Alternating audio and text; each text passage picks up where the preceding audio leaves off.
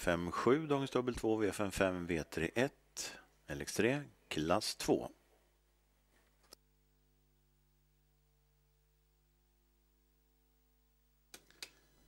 Då har vi kommit till V75-avgörandet. Klass 2 avslutar 12 ekipage. Strax start, lopp 11.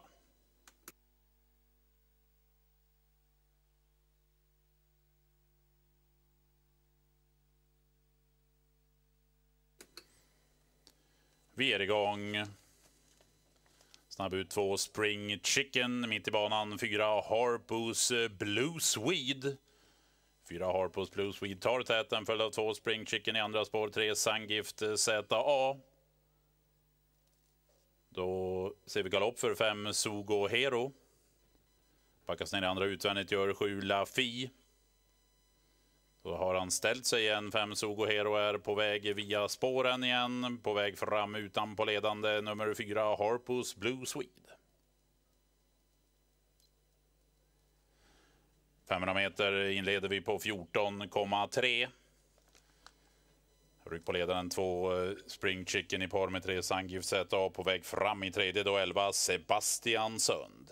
Fjärde invändigt har ett Korean Ås, fjärde häst i andra spår 10 Special Offer. Femte utvändigt nio Magia dock, femte invändigt åtta Missil Brodde på väg fram då i tredje spår en bit ner. Nummer 12 Esprit Boko.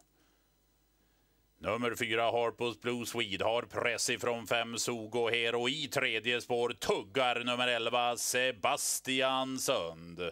Kilometern har vi travat på 15,1.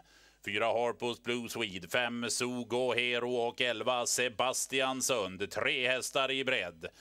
Andra häst och så galopperar Sebastian Sund, eller strular åtminstone, ställer sig igen. Det är Sangift CA, ZA i andra utvändigt som inte kan. Tillbaka då i tredje spår 11 Sebastian Sund, eller i fjärde är han mellan. I tredje är 12 Esprit Boko.